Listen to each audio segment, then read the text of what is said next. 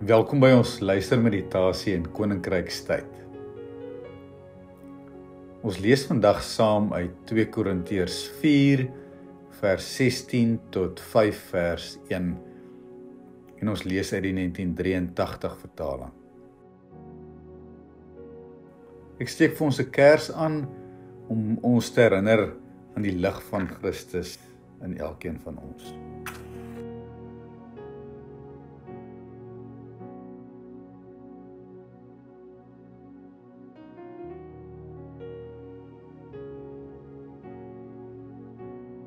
Ek nooi jou om vir 'n oomblik tot rus te kom en ons doen dit met 'n asemhalingsgebed.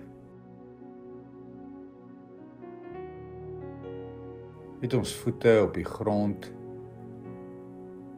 raak ons bewus van ons asemhaling. Asem in en asem uit.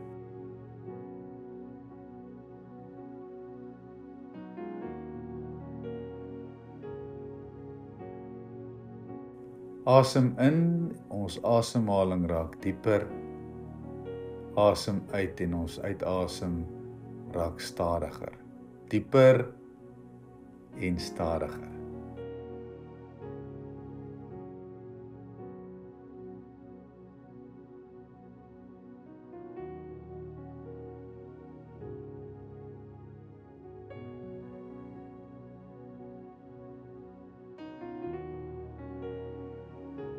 Asem in en ons ontspan ons lyf. Asem uit. Ons hele wese raak kalm. Ontspan en kalm.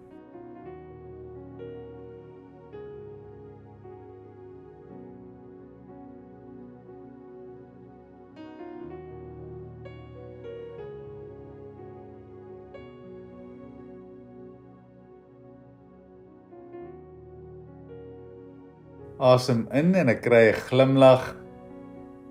Ek glimlag selfs vir die moeilike goed. My swaar kry. En asem uit ek laat gaan alles wat my bekommer of wat angs by my bring. Glimlag en laat gaan.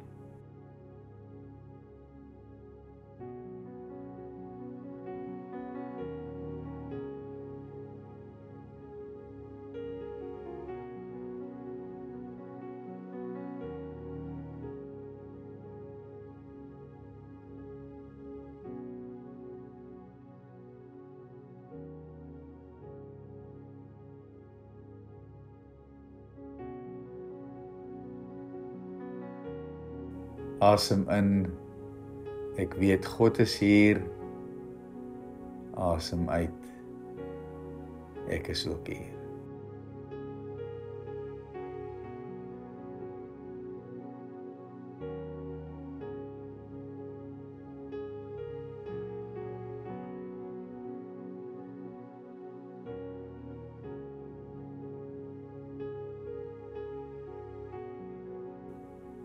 Is hier. Ek is hier. Ons is hier.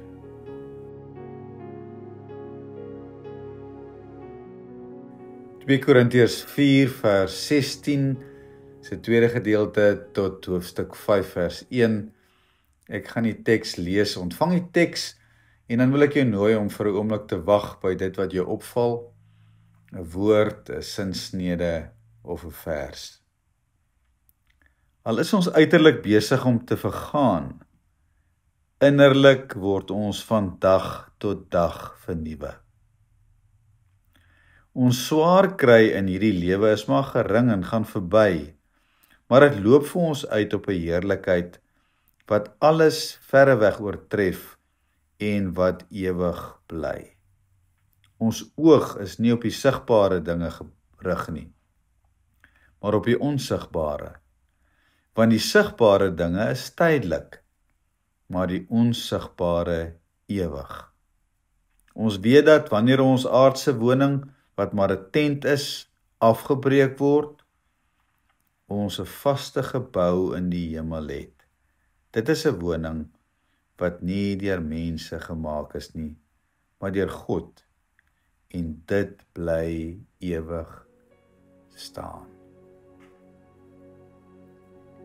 In stilte vertoef vir 'n oomblik by 'n woord sinsnede vers wat jou opgeval het.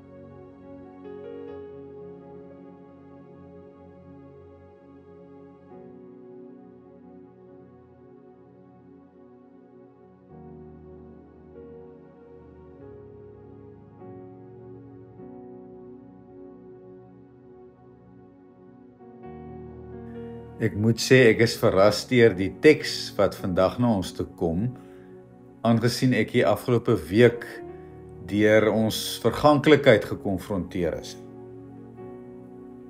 Die eerste ding was dit was die viering van my ma se dood 'n jaar terug. En uh die vorige Sondag het ek 'n diens gelei waar ons aan die einde van die diens 'n uh, familie se dogter wat die vorige week dood is aan kanker se lewe gevier het met 'n kersseremonie met 'n pragtige foto van haar by die kersse. Woensdag het ek 'n gedenkdiens gelei van 'n vriendin van ons wie se ma oorlede is. En donderdagoggend het ek saam met 'n universiteitsvriend van my ontbyt geëet wie se pa vroeër die week oorlede is. So die dood het so 'n bietjie by my kom kuier.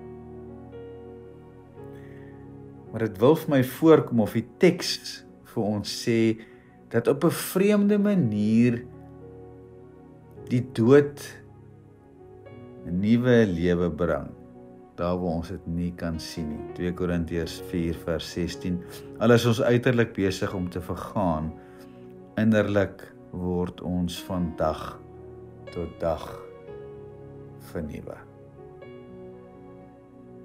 Ek wil jou nooi om vir 'n oomblik net hier aan vas te hou.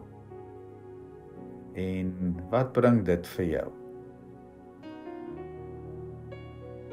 Die gedagte dat die dood nuwe lewe op 'n manier na ons toe bring wat ons nie kan sien nie.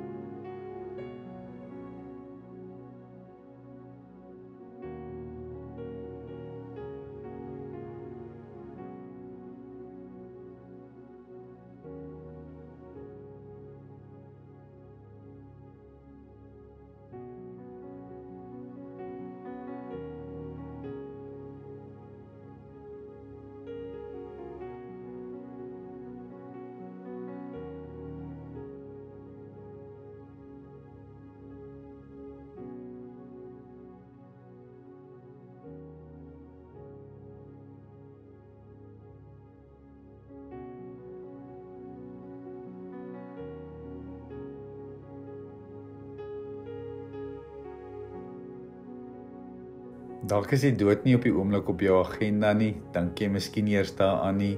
Dink jy ook aan jou, aan jou eie verganklikheid nie. Maar die seisoen waarin ons is, winter, dink ek wil ons nogal sin toe vat. Iets van die siklus van die lewe dat goed soms moet afval sodat nuwe lewe kan gebeur. Dalk is daar iets wat by jou opkom wat in jou lewe sommer net aan die afval is of moet afval. Wat jy weet dit moet plek maak vir iets nuuts. Vir toe vir 'n oomblik daar.